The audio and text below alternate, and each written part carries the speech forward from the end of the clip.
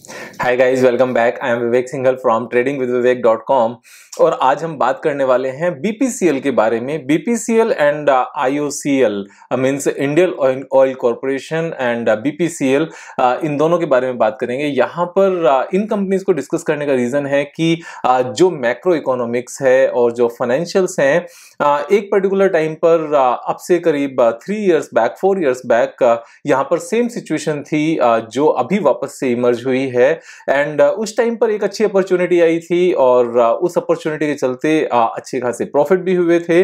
तो same situation आज की डेट में नज़र आती है। यहाँ पर मैं आपके सामने दोनों सिनेरियो रखूँगा कि उस टाइम पर क्या हुआ था। एंड सेम अभी उसी तरीके से क्या चीज़ हो रही है क्या यहाँ पर गवर्नमेंट के डिसीज़न से उन सब चीज़ों को डिस्कस करके यहाँ पर एक ट्रेडिंग की अपॉर्चुनिटी है या नहीं है, इन सब चीज़ों को डिस्कस करेंगे, लेकिन यहाँ पर मेरी किसी भी तरह की आपको ओपिनियन नहीं है, कोई भी राय नहीं है।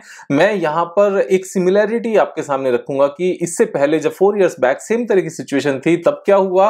और अभी जब सेम तरह की सिचुएशन है तो क्या होने के चांसेस हैं? अगर हिस्ट्री यहाँ पर रिपीट होती है तो आगे बढ़ते हैं। आगे बढ़ते हुए सबसे पहले एक बार जो पुरानी बात है, हम उस बात को ले लेते हैं।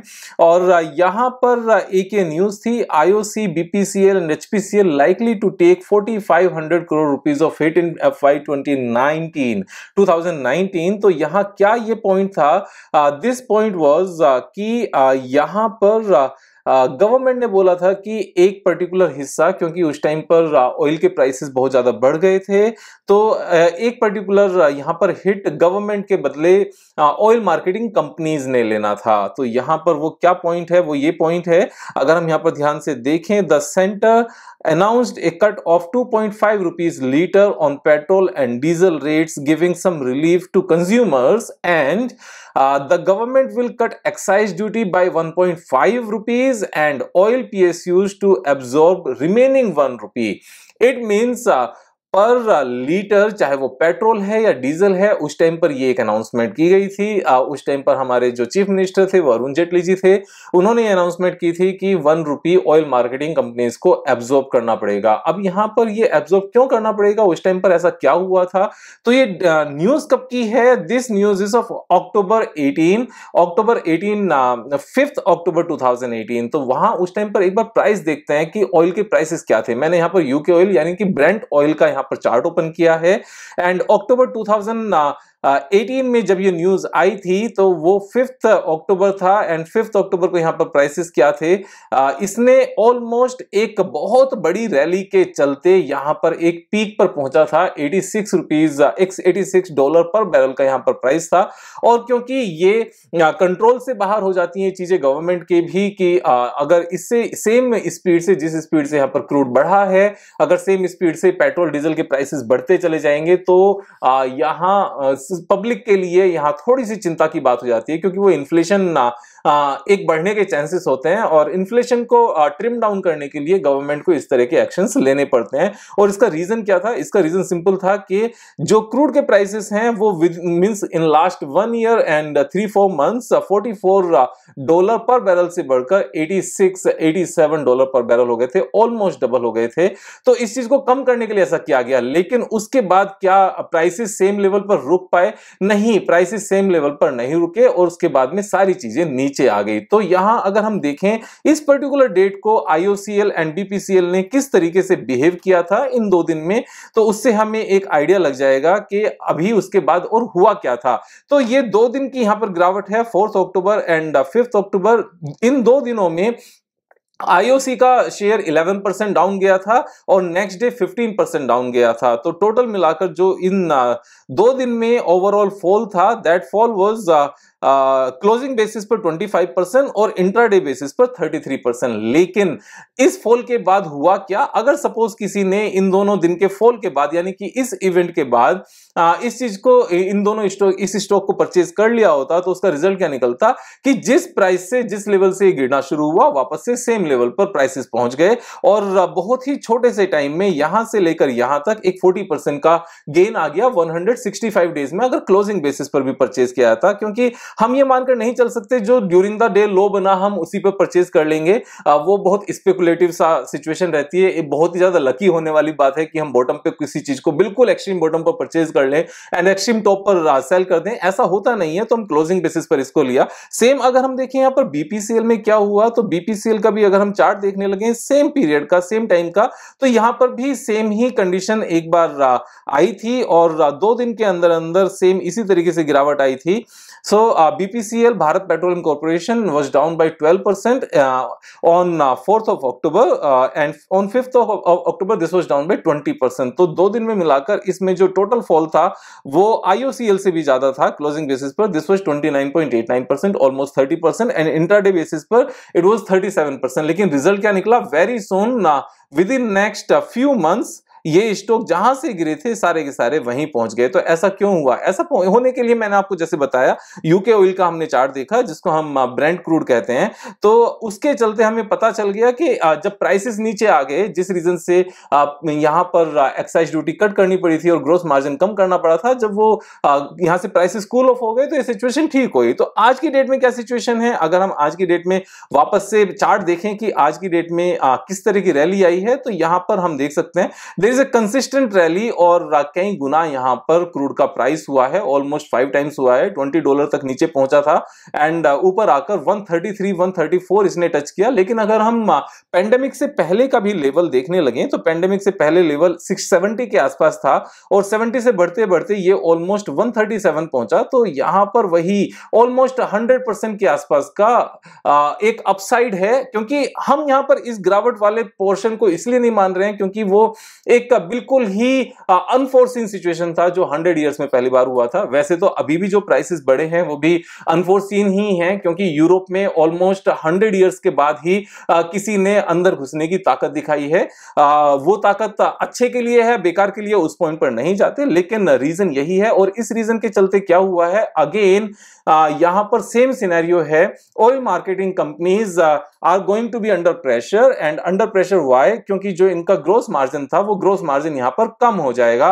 वो कम क्यों होगा? क्योंकि गवर्नमेंट ने यहाँ पर सब्सिडी को सॉरी एक्साइज ड्यूटी को कम करने की बात की है और जो कम करने की बात की है, उसमें सिर्फ़ और सिर्फ़ जब नुकसान होता है तो गवर्नमेंट कभी भी ऐसा नहीं करती कि सिर्फ़ अपनी तरफ़ से यहाँ पर कमी कर दे और बाकी कुछ भी कम ना करे। तो यहाँ अगर हम दूसरी न्यूज़ देखते हैं, जो ट्वेंटी थर्ड मे को आई थी H P C L BPCL IOC will OMC stocks remain under pressure on excise duty cut वो इसलिए क्योंकि यहाँ पर ग्रोस मार्जिन यहाँ थोड़ा सा कम हो जाएगा। और ऐसा होता भी है because all these are government companies और गवर्नमेंट कंपनीज़ में uh, हमेशा एक चीज़ होती है कि after even listing these companies on NSC and उनमें क्योंकि पब्लिक भी शेयर होल्डर रहती है उस चीज़ के बावजूद भी यहाँ पर क्या रिज़ल्ट होता है कि गवर्नमेंट uh, uh, इनको पूरी अपनी कंपनी मानती है और जो नुकसान यहाँ पर इन कंपनीज़ के लिए नहीं होना चाहिए वो चीज़ें भी यहाँ पर हिट कर जाती हैं। सेम चीज़ एलआईसी के केस में होती है। अगर किसी बैड कंपनी को बेल आउट करना होता है तो एलआईसी आकर बेल आउट करता है। अभी तक ये चीज़ ठीक थी। जब तक ये कंपनी लिस्टेड नहीं थी, लेकिन एलआईसी क्योंकि अब एक लिस्टेड कंपनी है, इसमें पब्लिक का भी पैसा है तो अब इस तरह के डिसीज़न नहीं आने चाहिए। लेकिन क्योंकि ये जनरल प्रैक्टिस है तो ये चीज़ असल में होती रहेंगी। लेकिन अभी भी इन सब चीज़ों के चलते जब यहाँ पर ये स्टॉक प्राइसेस प्रेशर में हैं तो यहाँ पर अगर हम आज की डेट में देखें तो सेम डिसीज़न तब लिए गए थे, क्योंकि ऑयल जो ब्रेंट ऑयल है, वो बहुत ज़्यादा ऊपर था। सेम डिसीज़न अब लिए गए हैं। जिस तरीके से तब ब्रेंट ऑयल नीचे कूल ऑफ़ हुआ, सारे प्राइसेस वापस आ गए। सेम इसी तरीके से आज की डेट में भी ये सारे स्टॉक्स अंडर प्रेशर हैं और सेम सिनेरियो यहाँ पर भी नज़र आता है। अगर हम आईओसीएल की बात करने लगे तो आईओसीएल तो उस प्राइस पर पहुँचा जिस प्राइस पर 2018 में यहाँ से गिरावट आई थी और उससे नीचे ही है अभी भी। लेकिन अगर बीपीसीएल की बात करें तो बीपीसीएल ने तो almost life time high touch कर लिया था इस गिरावट के बाद। जब ये गिरावट आई तो वापस से ऑलमोस्ट लाइफ टाइम हाई पर पहुँच गए थे और आज की डेट में ये फिर से सेम लेवल पर इसी तरीके से गिरे हुए हैं। तो यहाँ पर क्या अपॉर्चुनिटी नज़र आती है कि जो प्राइसेस जिस लेवल से प्राइसेस गिरे हैं, उन लेवल पर ये वापस से बहुत जल्दी जा सकते हैं। और वो कौन से लेवल्स हैं, यहाँ से लेकर अगर हम देखें सो दिस इज़ 73 परसेंट का यहाँ पर मूवमेंट है, अगर हम इस लेवल को यहाँ पर देखने लगे। अब 73 परसेंट का मूवमेंट ये कम नहीं है। मैं ये कहता हूँ कि अगर वापस से ये प्राइसेस आने में टू ईयर्स भी लग जाए तो 73 percent is a very good percentage gain probability जिस चीज़ की बहुत ज़्यादा क्योंकि जिस प्राइस पर अभी यूके ऑयल रुका हुआ है, इस प्राइस पर इसका रुकना ऑलमोस्ट नामुमकिन है इंपॉसिबल है, उसका रीजन है कि किसी भी कंट्री के लिए ये प्राइसेस फेवरेबल नहीं है और कोई भी कंट्री इस प्राइस पर क्रूड के सस्टेन रहने के लिए फेवर में काम नहीं कर सकती, वो इसको सपोर्ट नहीं कर सकती। देर विल बी रीजन जो क्रिएट किए जाएँगे कि जिससे ये क्रूड प्राइस नीचे आ जाए। अब यहाँ पर अगर हम बीपीसीएल की बात करने लगे तो बीपीसीएल भी नीचे आया क्या? वो हमने देख लिया बीपीसीएल नीचे आया और आईओसीएल वो भी हमने देख लिया दोनों नीचे आया। अब यहाँ पर एक पॉइंट जो आती है इस मेन बिज़नेस को लेकर कि विवेक भाई आपको नहीं लगता कि अब इलेक्ट्रिक व्हीकल्स का जमाना है आ, सोलर एनर्जी का जमाना है यहाँ पर रिन्यूएबल एनर्जी चाहे वो विंड एनर्जी हो चाहे वो हाइड्रोजन हो और चाहे वो सोलर हो चाहे वो इलेक्ट्रिक व्हीकल्स हो इसके चलते इंडिया में क्रूड की जब डिमांड ही कम हो जाएगी, जब पेट्रोल, डीजल की डिमांड ही कम हो जाएगी तो ये कंपनीज़ अच्छा कैसे परफॉर्म करेंगी? तो यहाँ इस बिज़नेस को समझने के लिए मैं आपको एक चीज़ दिखाता हूँ कि इंडिया में ऑयल की डिमांड अभी कितनी है। So this is a news of seventeen March to not the news but इस तरह के जो नंबर्स होते हैं, वो एक्चुअल में फैक्ट्स होते हैं। India's oil demand rose from four million barrel per day in two to four million barrel per day in 2021 तो यहाँ पर विद इन वन ईयर ये इतना यहाँ पर जंप कर गया। और ये तो अभी फ़िलहाल की बात है Indian oil demand likely to jump by 8 percent to 5.5 million barrel ये भी एक का यहाँ पर नंबर आया है इट इज़ लाइकली लेकिन जो गवर्नमेंट के एक्चुअल में नेक्स्ट सेवन एट ईयर्स के नंबर्स हैं, जो प्रोजेक्टेड नंबर्स हैं, वो क्या कहते हैं? India's oil demand is projected to rise at fastest pace in the world to reach 10 million barrel per day तो जब भी हमारे माइंड में ये चीज़ आए कि इलेक्ट्रिक व्हीकल्स का जमाना है इलेक्ट्रिक व्हीकल्स का जमाना होगा,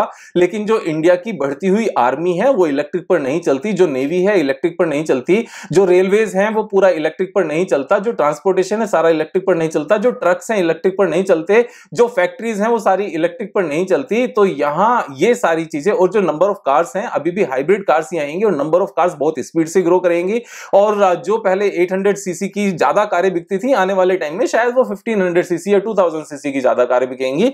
तो यहाँ पर जो डिमांड है, वो डिमांड सीधी सीधी इंक्रीज होती हुई नज़र आती है। जो करंट डिमांड है, वहाँ से डबल होती हुई नज़र आती है। अब डबल होने का मतलब समझते हैं कि इनको अपनी रिफाइनिंग कैपेसिटी जो ये दोनों सबसे बड़ी कंपनीज़ हैं यहाँ पर अगर हम इंडियन ऑयल कॉर्पोरेशन की बात करने लगे so Indian Oil Corporation is the largest refining company in India company owns 11 refineries across India with a total capacity of 81.2 million metric ton per annum तो ये एक and it possesses thirty two percent of the total refining capacity of India तो ये यहाँ पर सीधे सीधे इनके एक्सपेंशन प्लान्स भी हैं। ये चीज़ें लगातार बढ़ेंगी। एक्सपेंशन प्लान्स कैसे पता चलेंगे? हम बैलेंस शीट में जाकर सीडब्ल्यू देख सकते हैं। तो ये इनकी ऑपरेशनल कैपेसिटी है एंड अंडर कंस्ट्रक्शन कैपेसिटी कितनी है? फोर्टी फोर थाउज़ेंड करोड़ तो यहाँ पर ट्वेंटी फाइव परसेंट के आसपास की कैपेसिटी uh, इंक्रीज होते हुए नज़र आती है। That will keep on increasing अगर हम पास्ट में भी देखें तो लगातार इनका जो फिक्स्ड एसेट्स है वो लगातार इंक्रीज हुआ है क्योंकि इंडिया में इंक्रीजिंग डिमांड है। उस इंक्रीजिंग डिमांड को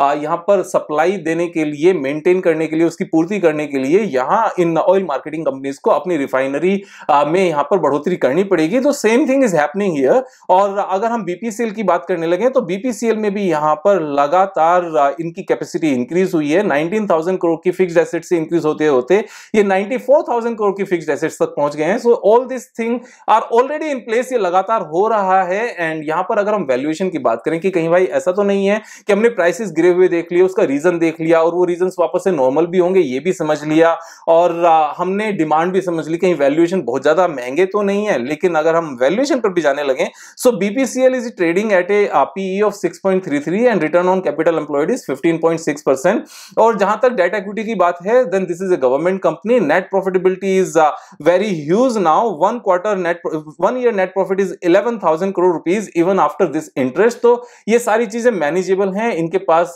जो प्रॉफिट मार्जिन है वो अच्छे मार्जिन है। सेम अगर हम आईओसीएल की बात करने लगे आईओसीएल तो और भी सस्ती मिल रही है। This is available at just a P of four and book value is 142 currently available at 110 तो ये दोनों यहाँ पर वैल्यूएशन भी सपोर्ट करते हैं। मैक्रो इकोनॉमिक्स भी सपोर्ट करती है क्योंकि इंक्रीजिंग डिमांड है। यहाँ पर जो अभी इन शेयर्स में गिरावट आई है। वो गिरावट किस लिए आई है कि बढ़ते हुए क्रूड प्राइसेस की वजह से गवर्नमेंट ने जो यहाँ पर प्रेशर डाला है इनके ऊपर कि अपना ग्रोस मार्जिन कम कर लो, जिससे हमें एक्साइज ड्यूटी उतनी ज़्यादा कम नहीं करनी पड़े। इट मीन्स कि एट रुपीज़ हमने एक्साइज ड्यूटी कम की तो वन और टू रुपीज़ का ग्रोस मार्जिन आप भी बेयर कर लो, वो अपना कम कर लो, और जैसे ही यहाँ पर क्रूड की सिचुएशन ठीक होगी, जो होनी ही है, उसमें कोई दोराई नहीं है। पास्ट में हमेशा जब भी क्रूड इस तरह के लेवल पर गया है इमीडिएटली उसके बाद में प्राइसेस नीचे आए हैं। अगर हम क्रूड ऑयल को वापस से देखने लगे एक बार कि किस तरीके से लॉन्ग टर्म में बिहेव किया है, मैं यहाँ पर वीकली चार्ट ओपन करके दिखाता हूँ आपको।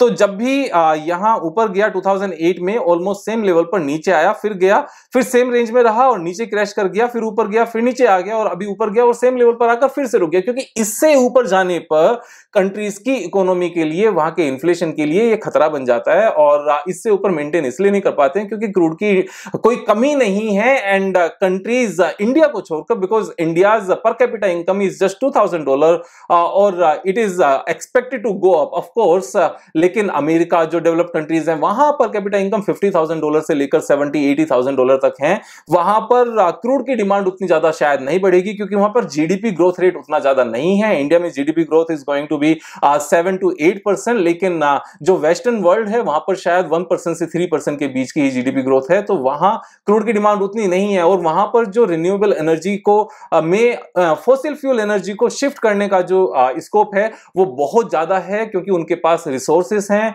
उनके पास इंफ्रास्ट्रक्चर है, उनके पास पैसा है। इंडिया अभी भी इंडिया को ग्रो करने के लिए बाहर से आए हुए पैसे की तरफ़ हमें ध्यान लगाना पड़ता है, हमें बाहर से पैसा चाहिए होता है, लेकिन उन कंट्रीज़ को बाहर से पैसा नहीं चाहिए होता, उन कंट्रीज़ को बाहर से टैलेंट चाहिए होता है तो चाइना से, इंडिया से, इंडोनेशिया से फिलीपीन से जो ये डेवलपिंग कंट्रीज़ है, यहाँ का जो बेस्ट टैलेंट है, वो उनके पास चला जाता है, क्योंकि उनके पास पैसे की कमी नहीं है, हमारे पास पैसे की कमी है। तो इन सब सिनेरियो को देखते हुए यहाँ मेरे हिसाब से अपॉर्चुनिटी है तो आप अपने हिसाब से यहाँ पर अपनी सोच समझ से, अपने रिस्क पर, अपनी कैपेबिलिटी के हिसाब से ट्रेड लेंगे। मैंने आपके सामने सेम सारा सिनेरियो रखा, सारा बिज़नेस समझाया, सारे फाइनेंशियल्स देख लिए हमने बिज़नेस प्रोस्पेक्ट देख लिया चार्ट्स की मूवमेंट देख ली और यही सब देखकर जब हम कुछ ट्रेड लेते हैं तो हमारे पास रीजन होने चाहिए, क्योंकि खरीदने के बाद भी अगर चीज़ें नीचे चली जाए और हमारे पास रीजन होते हैं देन हम होल्ड कर पाते हैं और अगर हमारे पास रीजन नहीं होते तो हम होल्ड नहीं कर पाते। रीजन कब होते हैं? जब हम खुद से एनालिसिस करते हैं या फिर सामने से एनालिसिस आए तो उसको समझते हैं और रीजंस कब नहीं होते? जब हम सिर्फ़ और सिर्फ़ सुनने के बाद में आँख बंद करके ट्रेड ले लेते हैं,